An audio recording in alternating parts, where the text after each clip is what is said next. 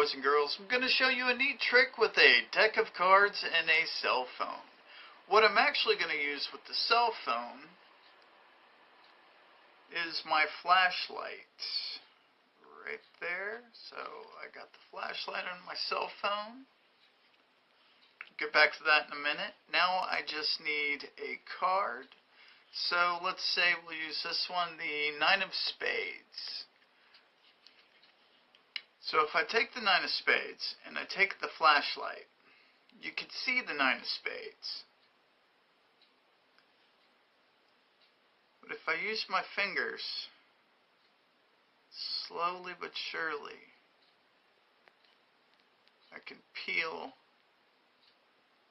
the nine off right into the cell phone light. There you can see the card is left blank. But I peeled the card off into the light on my cell phone, so now it's on my cell phone. But with it on my cell phone, I really can't do anything with it, so if I take it and I peel it off my cell phone, then I can put it back in the deck and use it again later.